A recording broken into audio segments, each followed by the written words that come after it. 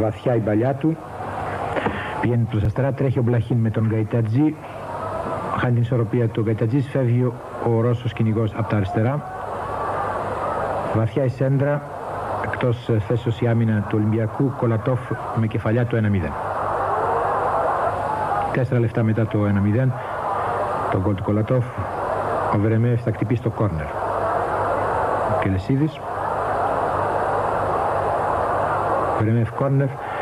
Επίδησε η μπάλα στο στήθος του Κελεσίδη, ο Κολατόφ ήταν πολύ κοντά, την στα δίχτυα του Ολυμπιακού το 2-0. Σε διάστημα 4 λεπτών 2-0 υπέρ της Δυναμό. Δεν πτώει ο Ολυμπιακός, θα περάσει τώρα στην επίθεση ο Σόκος με τον Γκαϊτατζή.